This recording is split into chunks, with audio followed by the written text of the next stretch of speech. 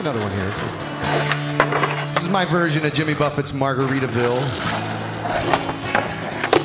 A little different though. We had to bring it up into the 90s, you know, somewhat. It's now called Marijuana Bill. It goes like this.